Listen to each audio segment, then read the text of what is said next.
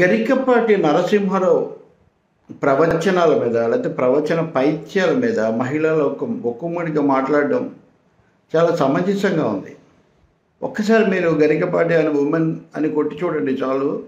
పరంపరగా వస్తాయి. స్త్రీలకు సంబంధించినటువంటి ఇష్టానుసారం మాట్లాడినటువంటి మాటలు. ఆ మాటలే ఎవరైనా సామాన్యులు కనుక మాట్లాడితే అక్కడే కొడతారు చెంప పగిలేటట్టు. ఇంకా ఏదైనా కూడా చేస్తారు. ఒకవైపు అత్యాచారాలకు అసమానతలకు అఘాయిత్యాలకు అమానుషాలకు మహిళలు బలైపోతుంటే మన పండిత వర్యులకు అవేం కనపట్టలేదు ఆయన స్త్రీలకు నిధి బోధ చేయటం అనేది గొప్ప లక్షణం పెట్టుకున్నాడు. జీన్సు ప్యాంట్స్ స్కర్ట్స్ వేసుకునే మహిళలకి ఇవి అంటాడు. నైటీల వల్ల ఇబ్బంది అంటాడు. ముఖానికి ఏదైనా పూసుకుంటే ఏమవుతుంది అంటాడు.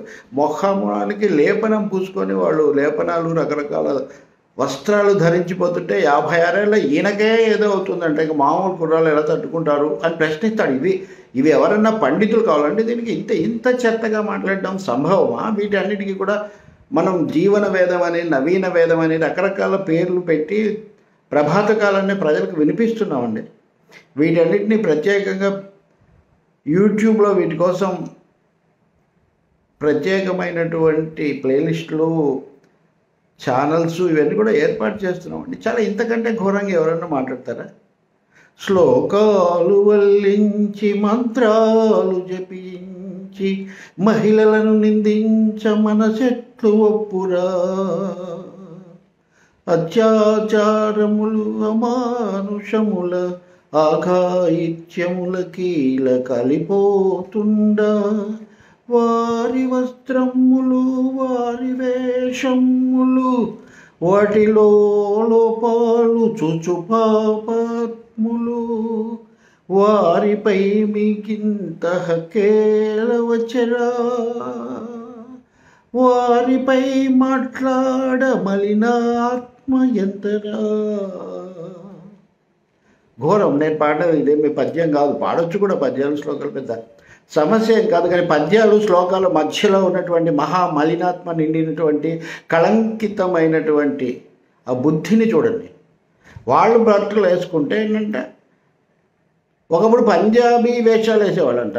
అంటే పంజాబీ డ్రెస్ ఇది అరవైవ దశకంలో మహిళలు అప్పుడు కృష్ణకుమారో లేకపోతే బి. సరోజదేవో ఇట్లాంటి ఆనాటి హీరోయిన్లు. అది కూడా తప్పే ఈయనకి ఇప్పటికి కూడా.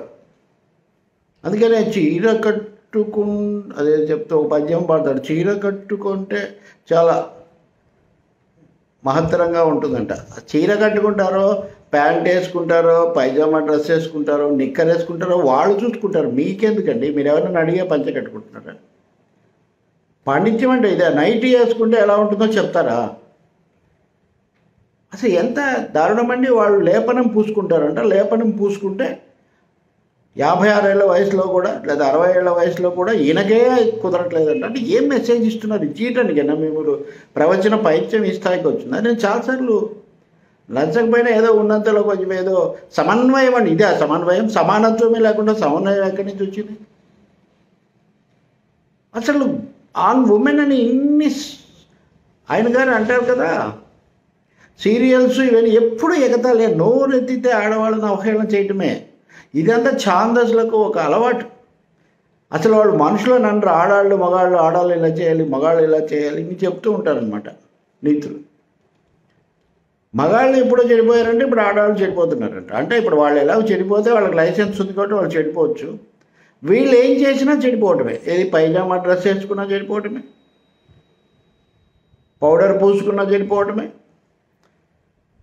అసలు తరతరాల నుంచి అనేక రకాల అణచివేతలకు గురై ఈరోజు కూడా పసిపిల్లల మీద కూడా చీర కట్టుకోలేదు. ఈ ఏది జీన్ ప్యాంట్ వేసుకుంటే మీరు తహతహలాడిపోయారు అనుకుందాం ఆ పసిపిల్ల ఏం చేసిందయ్యా? స్కూల్లో మైనర్ బాలికల మీద అత్యాచారాలు చేసిన వాళ్ళ గురించి కనీసమైనటువంటి మానవత్వం మానుషత్వం ఉన్న వాళ్ళు ఎవరైనా ఇలా మాట్లాడతారా?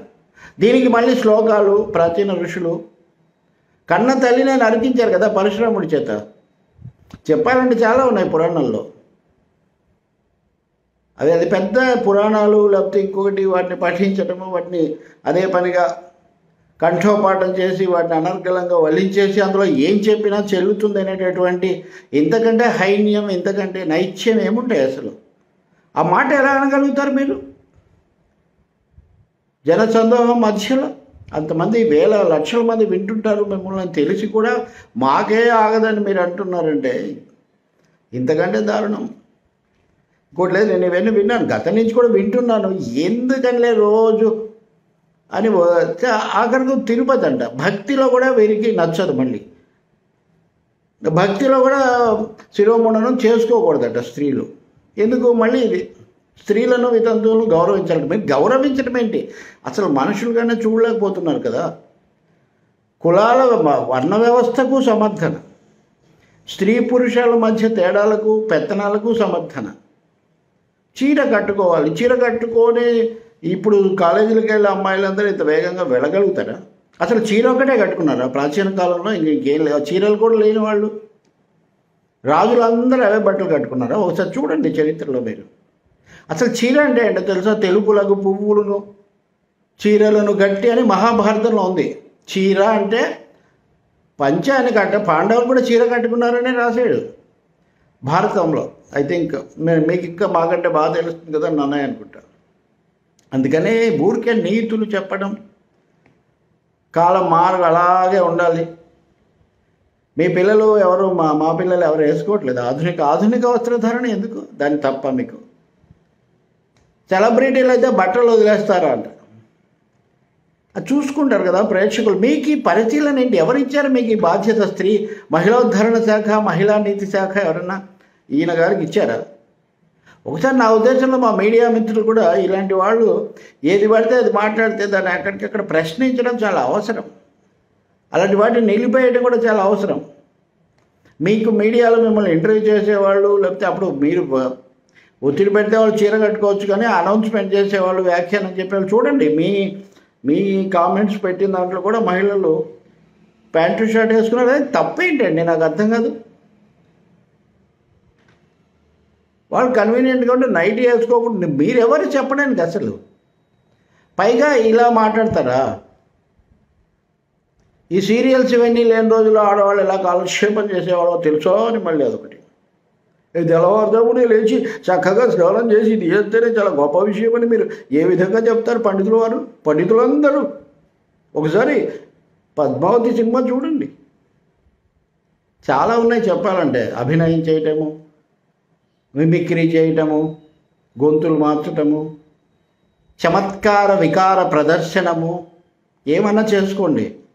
మిలియన్ల వ్యూస్ తెచ్చుకోండి పదవులు తెచ్చుకోండి బిరుదులు తెచ్చుకోండి. కానీ మహిళల్లో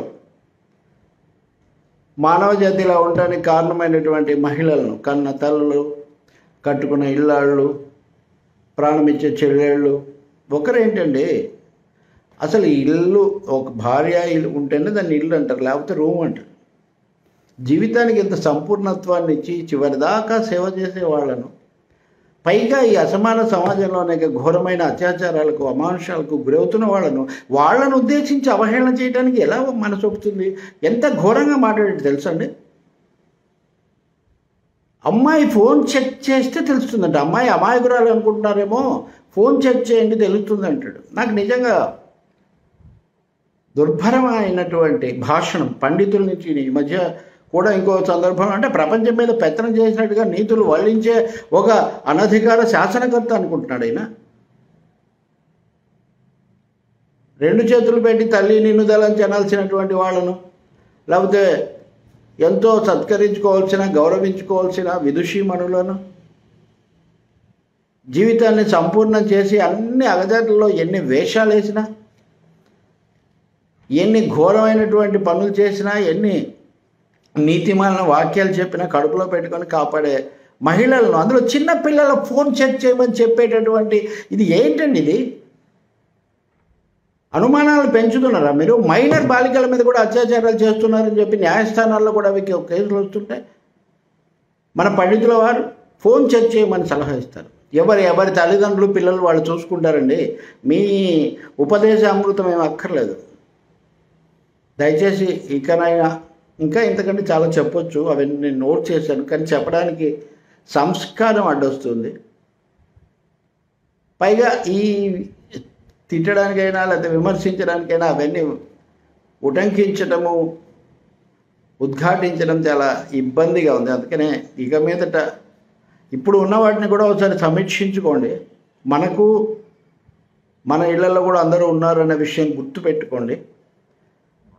మనసులో మలినం అన్నికంటే ఘో అన్నిటికంటే ఘోరమైనది వస్త్రధారణను బట్టి లేకపోతే రాగధారణను బట్టి లేకపోతే శ్లోక పఠనం అది ఇది కాకపోతే ఏదో అంటారు కదండి. ధారణను బట్టి అవధానాలను బట్టి కాదండి. మీరు ఉద్దండ పండితులే కానీ మీకు ఉండాల్సిన బుద్ధి మాత్రం లేదంటారు మాయబజార్లో చిన్నమయ ఆ పరిస్థితి రాకుండా చూసుకోండి. ఒకవేళ మనం మారకపోయినా మహిళలు తప్పకుండా పాఠం చెప్తారు. కేసు కూడా పెట్టొచ్చు. మీరు మాట్లాడినట్టు వాటి వాటి మీద కేసు కూడా పెట్టొచ్చు. ఇలా మాట్లాడినందుకు మహిళలను కించపరిచే విధంగా. ఇప్పుడు అన్ని సంఘాలు ఒకటే. దీని మీద ప్రకటన చేశాయి కాబట్టి ఇప్పటికైనా కొంచెం కళ్ళు తెరవండి కుళ్ళు మానండి.